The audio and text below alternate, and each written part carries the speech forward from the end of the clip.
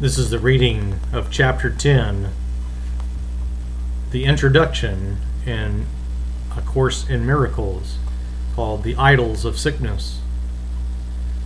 Number one, the nothing beyond yourself can make you fearful or loving because nothing is beyond you. Time and eternity are both in your mind and will conflict until you perceive time solely as a means to regain eternity. You cannot do this as long as you believe that anything happening to you is caused by factors outside yourself. You must learn that time is solely at your disposal and that nothing in the world can take this responsibility from you.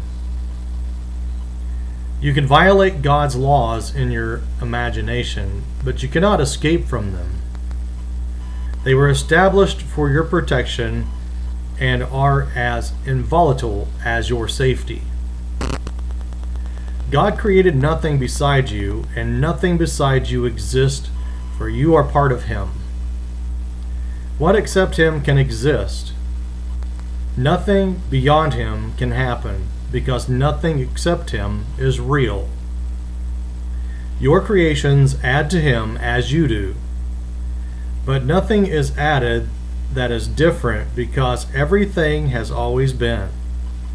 What can upset you except the ephemeral, and how can the ephemeral be real if you are God's only creation and He created you eternal?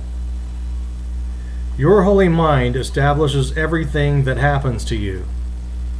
Every response you make to everything you perceive is up to you because your mind determines your perception of it. God does not change his mind about you, for he is not uncertain of himself. And what he knows can be known because he does not know it only for himself. He created you for himself, but he gave you the power to create for yourself so you would be like him. That is why your mind is holy can anything exceed the love of God? Can anything then exceed your will? Nothing can reach you from beyond it because being in God, you encompass everything. Believe this and you will realize how much it is up to you. When anything threatens your peace of mind, ask yourself, when anything threatens your peace of mind, ask yourself this Has God changed his mind about me? Then accept his decision, for it is indeed changeless. And refuse to change your mind about yourself. God will never decide against you, or he would be deciding against himself.